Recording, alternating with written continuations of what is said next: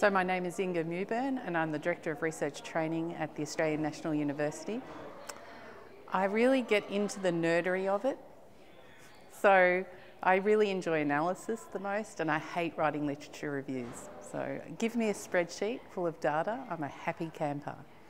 But um, reading piles and piles of journal articles, not really my thing. Am I a global researcher? I don't know. Um, I just like collaborating with people that I get on with, really. So I look for people that I have very similar interests with and people whose company I enjoy. So I don't really think about it as global or local. It's more who's into what I'm into and interested in the same questions. As a global teacher, that's a different proposition, going around and doing different teaching in different countries. The jokes fall flat some places, they work in other places. Um, and I've really learned a lot about how different cultures are um, in all the travel I've done, which is quite a lot since I started the blog. The most challenging thing in my career so far, the most challenging thing would be the structure of academia itself. It's very hard to get into it. It's very hard to break into getting a job.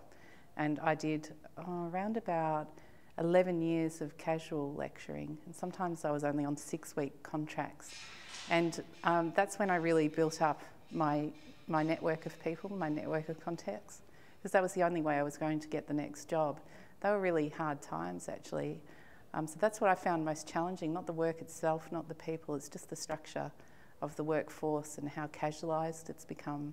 Very difficult to navigate. You need all sorts of literacies I didn't realise that I needed um, and that I've learnt along the way. The most enlightening thing would have probably been just discovering social media for me um, and discovering those few people in the world that really get into the same things you do, that are hanging out there. They're not in the next office from you, they're across the world, and being able to talk to them uh, is so different even from when I started as an academic in 2000.